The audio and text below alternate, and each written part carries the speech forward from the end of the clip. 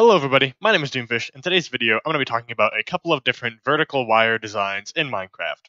So all these are, are different designs that are capable of carrying a signal either straight up, or straight down, or sometimes they can carry them both ways. So these ones have different functions, like for example, some of them will send a short pulse down every time we flick a lever. Some of them will send a continuous pulse up or down.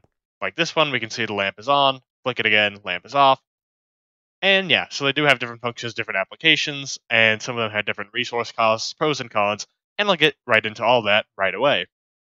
So the first design is a relatively simple one that can carry pulses downwards, and this is the cobblestone wall here. So all it is, is you head up with some walls right here. They don't have to be cobblestone. Um, whatever distance you want. They can go all the way up to build limit with this design, but I'm just going to go up a couple of blocks. At the bottom, we're going to want an observer facing upwards into that middle wall piece right there. And then up here, we're going to want something sort of like this, where we have a wall on the side here, and above it, we're going to have a piston facing downwards. So every time we flick this, you can see that we actually do get a pulse out of there. It's kind of hard to see. Maybe this will be a little better. We can see the pulse in our redstone lamp down there. And the way this works is when we flick a lever, this uh, wall will actually change to a wall post instead of just a wall every time this changes, and it'll change back. And the observer can actually detect this right here. So that design carried a pulse downwards, now we'll look at one that can carry a pulse upwards. So all it takes is some redstone dust, and then we need to do some alternating layers of slabs up to the top. It's be kind of hard to place these, but I would just generally do this, so solid block slab, block slab, all the way up. And then we can see that if we place down maybe one more slab right here, and we were to place down our redstone lamp here, and just place down dust all over here, then we can actually carry a pulse upwards like so, in a more compact space than we normally would be able to. Now this doesn't work downwards, you can see that we can just go ahead and do this, and we can see that it won't actually carry this pulse down to the bottom. Instead of using slabs, we can do the exact same thing with glass blocks, and it works just the same. Now something to note about this is that this is for the Java edition, and everything in this tutorial is for that version, but if you are on Bedrock, then this pulse will actually carry the signal downward. So as you can see, since we're on Java Edition, it just sort of stops right here, even though it looks like it should continue. And I believe on Bedrock, this will actually continue all the way to the bottom, which is very convenient if you're on that version. Next up, we've got some designs that can work both ways, both up and down. And the first one, and probably the best one, is going to be placing a sticky piston here, and going ahead and placing 11 slime blocks on top like so, and then a redstone block here, leaving a space, uh, placing another sticky piston facing up, then we can break this block and go ahead and just repeat this process however high we want. And so what we can see is that if we go to the bottom here, well actually I'll place down a redstone lamp so we can get a good demonstration of how this works. So right now it's off, we can go ahead, head to the bottom, place down our lever, and go ahead and see that this functions properly. And there we go.